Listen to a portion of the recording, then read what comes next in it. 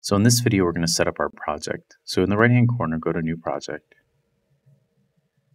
And we're going to be selecting um, 3D URP. And for the project name, what I generally do is in my Documents folder, I will create a new folder and I'll just call it Unity Projects. Go ahead and select that folder. And then instead of my project, we want to call this environment. Now, ideally, you'd name this the name of your game, but for now, uh, since we're going to be learning how to build 3D environments, this is going to be our... All right, so go ahead and click Create Project. And this will take a few minutes, so I'm going to go ahead and pause the video. All right, so now that Unity is open, let's make sure we're looking at the same thing. Up in the right-hand corner, click on Layout, and then go down to 2 by 3 what I generally do from here is I'll take my project tab and I'll drop it below my hierarchy tab. And then I'll click these three little dots here and I'll make it one column layout. Now, the last thing I want to do is I want to install some Unity packages. So go ahead and go to Window and then go down to Package Manager. And then what we're going to be looking for is in the Package and Projects dropdown, Click on Unity Registry and scroll all the way down to, um, we were looking for Pro Builder, so under P. It's in alphabetical order. And then go ahead and install. I'm going to let that install and pause the video.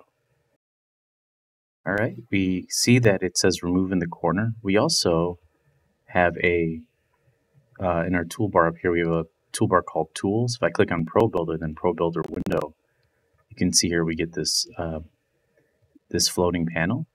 If you have that, that means that everything was installed correctly. Now let's install a free asset, which will give us a third-person character to run around. So go to Window, and then we're going to go to the Asset Store here. Go ahead and click on that. Now, it used to be embedded inside of Unity, but now um, it's it shows you that you have to go on the internet or go online. So go ahead and click this Search Online button, it also might pop out like this as a separate window. So let's go ahead and click on search online. Now this would also require you to sign in with like a Gmail and stuff later, which you might already be signed in anyway with Unity Hub when you first installed the Unity, um, the version of Unity that you're in. Let's go ahead and click search online. All right, here we are. So go ahead and click on this little uh, sign in here and go ahead and click on sign in and sign in with the uh, email that you initially signed into your Unity Hub with.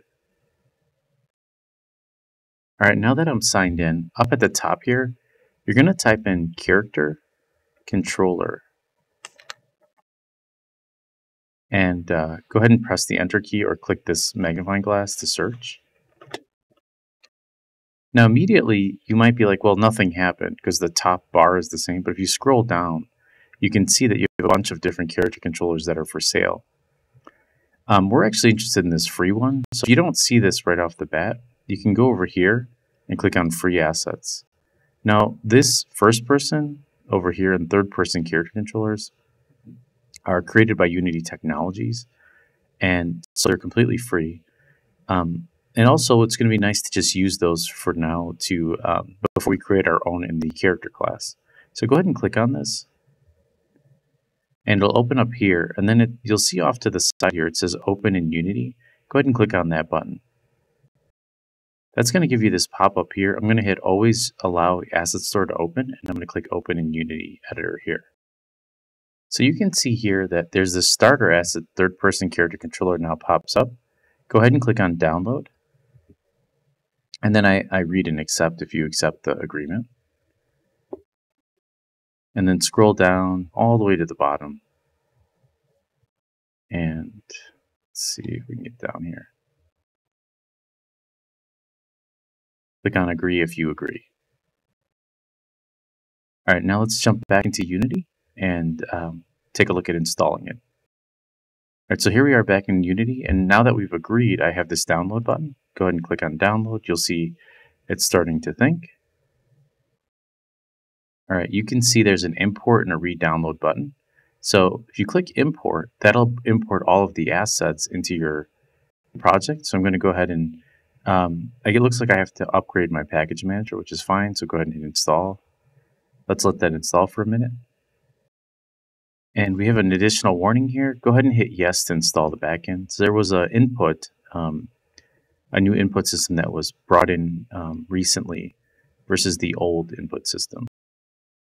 So it looked like it needed to restart after that. So if you have the same problem, uh, all we're going to do now is go back to our browser and try to reinstall that character controller again. So here we are back in our browser. Let's go ahead and type character controller again. And let's make sure that we tick on free. And then let's click this first one here, or we can actually just click on add to my assets down here and then open in Unity. And let's try importing one more time, and it should work this time where we have an import screen. It looks like it's still doing this. Let's see. If you hit this, there we go. Okay, it's it's fine now. Go ahead and import. All right.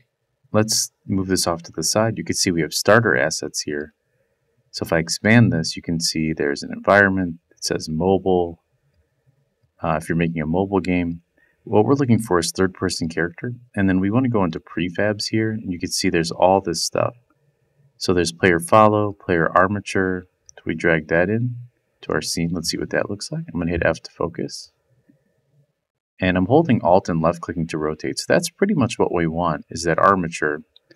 So let's kind of um, test this out for a second. So let's go to Tools and then Pro Builder and then Pro Builder window and click on New Shape here. And um, what you can do is I'm holding Alt and left clicking. If you click your middle wheel in, you can pan. So I'm, I'm expecting you to have some Unity experience. If not, email me. Um, but you should have taken a few other Unity classes before you came in here. Then I'm going to left click and I'm just going to drag out a ground here. So I just left click and drag. Then I'm going to press W or I'm going to click this arrow here and making sure we're on this track. So if we click on our little armature here, which we can also select it from here. When we press the play button, we don't necessarily have a camera set up, but you can see down here, if I click down here, I can actually move this character around. And um, you're probably not hearing this, but I can actually hear footsteps as well. If I hit the spacebar, my character can jump. So I'm going to go ahead and press escape, and I'm going to uncheck the play button here. So let's go ahead and uh, save this. So I'm going to do File, Save Scene, or save, yeah, Save As. And then in my Scenes folder, I'm going to call this level underscore zero one. And we go ahead and save that. And in the next video, we'll take a look at how we can start uh, planning to build a little home for our robot to walk around in.